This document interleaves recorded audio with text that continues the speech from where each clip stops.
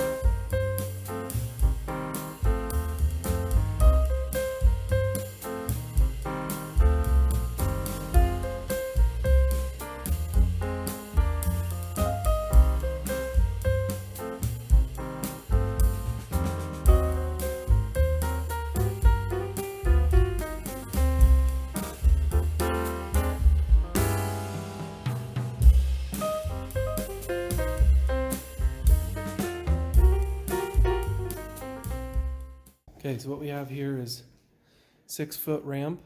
It's 15 inches wide. I put a little piece of flat stock here at the bottom. This is actually quarter inch. The rest of it's all 3 16th. What I'm planning is I'll probably be angling this edge for interface with the ground. And so this will kind of brace the end right there where it touches the ground. And then uh, it looks like I've set my treads up every nine inches and I think this looks pretty good. Uh, and then the last one here is going to be, it's going to have to be out like that. And that's what's going to actually hook onto the rub rail on the trailer. I think that's the plan. And now it's just a matter of squaring it up and welding it in.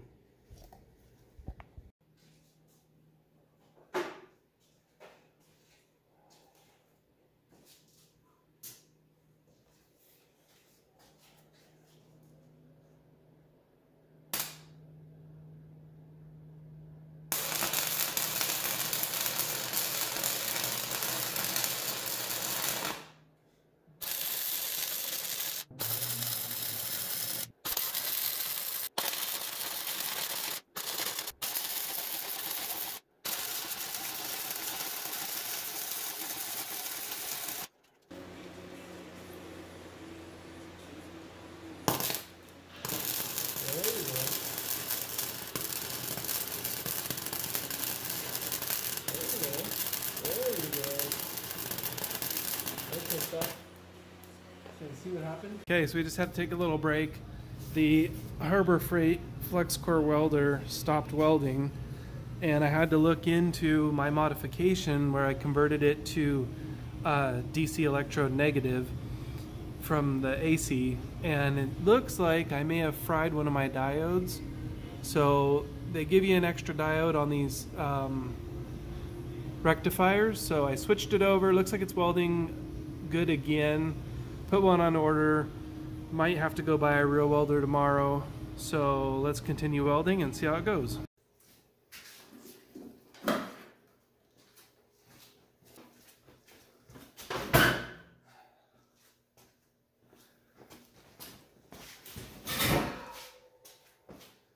Okay, so the Harbor Freight welder died.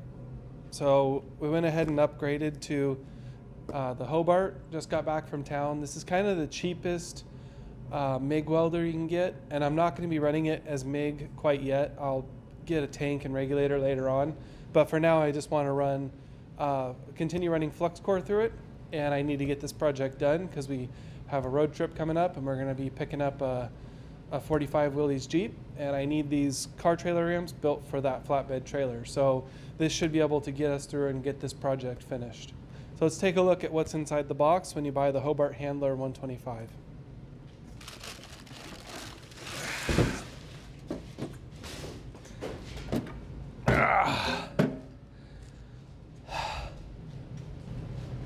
Okay, so that's it. That's it. That's all that's in the box. And it looks like we got some instructions and some extra tips. So one thing I wasn't sure about in the store was what tips it was going to come with.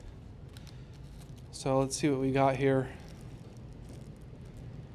Uh, 30,000, two 30,000s. So I went ahead and picked up some 35,000s tips while I was in the store. I've got 30 and 35 flux core laying around. So you just never know what you're going to have to put in the machine. And the instructions.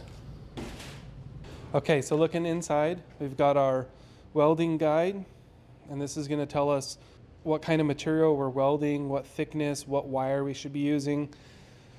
We've got our polarity for uh, the electrode, got our spool, wire feed.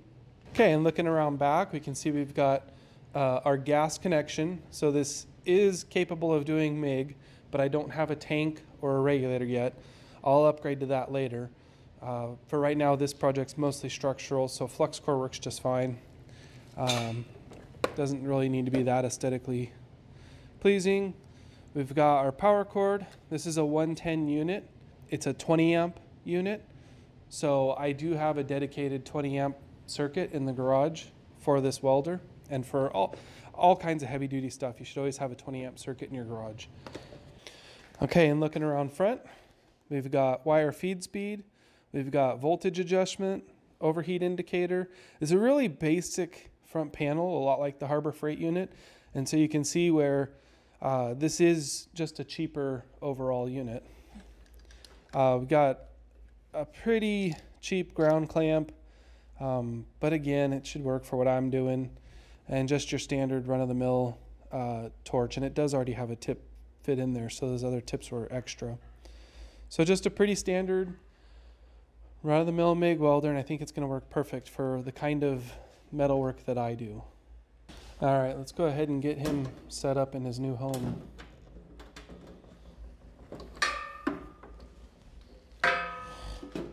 Okay, and as you can see, we have a Harbor Freight welder tray here that I use to keep all my metalwork stuff on, some scrap metal.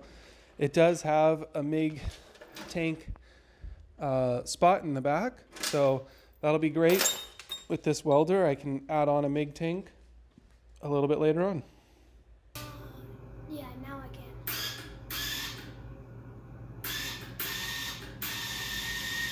There it comes. Oh, I forgot to change the tip. Ah.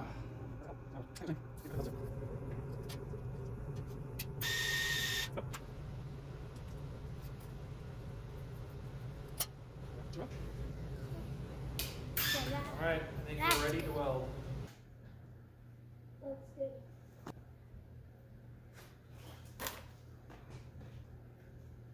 Okay, I've got my settings set up for the material we're working on. Let's go ahead and put this dude to the test.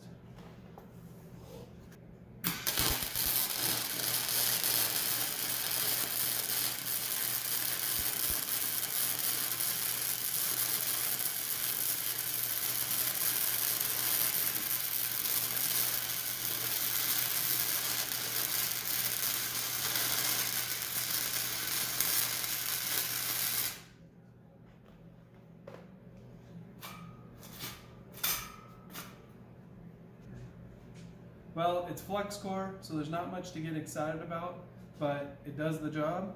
It runs, uh, it seems like it's got a little more heat in it being a 125 amp welder as opposed to the Harbor Freight 90 amp welder, but uh, it does the job. So let's get these uh, trailer ramps finished up here.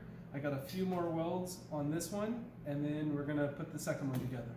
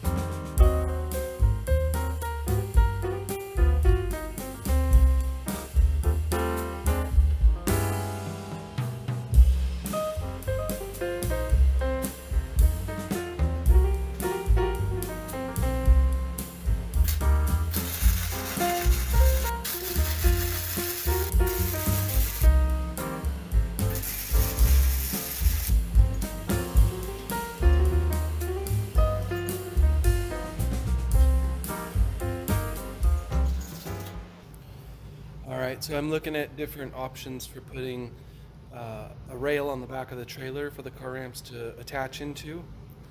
So I think what I'm going to do is this option, and I think it's going to go together pretty quick. So I just need to get the trailer down in the garage and start measuring, cutting, welding. We've got some more steel for this project. So let's go dig the trailer out of the snow.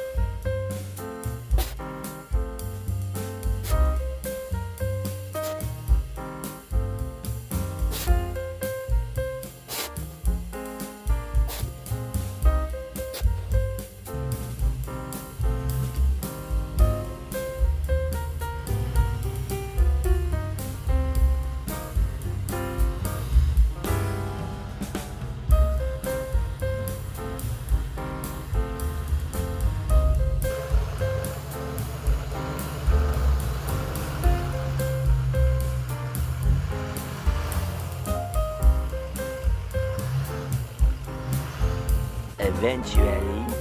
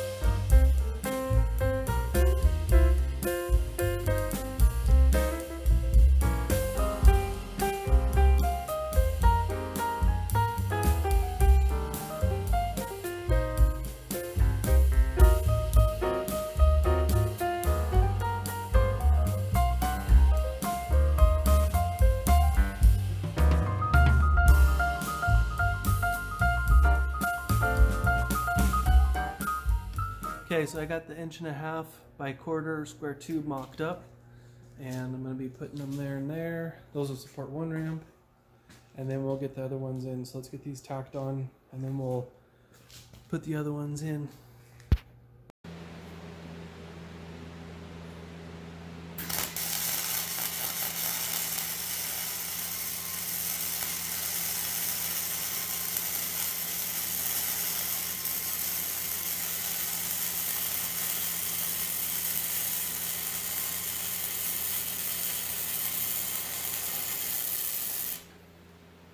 Okay, so I have my two inch flat stock mocked up here. So you can see I'm just gonna weld it right to those tubes right across there and then we'll cut this end off when we're done. And then I think I might go back and patch in a little extra just to bridge that gap on the corner and make it look round all the way around or make it look nice all the way around. So let's weld that dude on.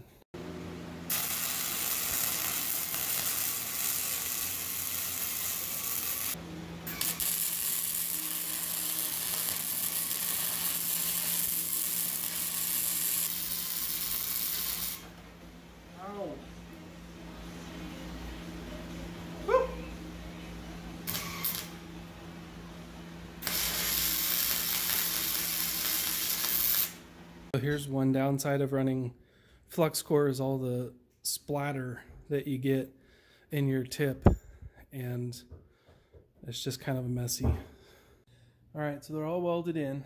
The only problem is this is still just got a little wiggle, especially if we put the ramp on there. So what I'm gonna do is take uh, a little bit of flat stock and we're gonna put it in there like that. And that'll brace that and take out that wiggle from that flat stock. I guess I could have made this entire thing out of angle and then put my uh, bracing in the angle. My only concern with that was uh, drainage, getting snow and water out of there. Uh, it's thick enough steel, it probably wouldn't have mattered, but um, oh well, this is what we're doing. So we'll weld those in and I'm gonna weld my little corner uh, tabs in to make that look nicer. Okay, so we got a test fit and it all looks good. One problem I'm seeing is, and I kind of anticipated this, but these are binding up and so I want to just trim off the corner of that. Another thing I did on the bottom is I used a piece of flat stock and what I wanted to do was trim this down so that that would lay closer to the ground and there wouldn't be such a big jump up. So let's go ahead and cut all those corners and see what we got. Okay, well there we go. We trimmed off the edges and now they're sitting nice and flush and they've got a nice approach angle. Now we've got lots of clearance here and they're not binding. So that's it for building them. Now it's just time to throw a little bit of paint on and then we're ready to use them.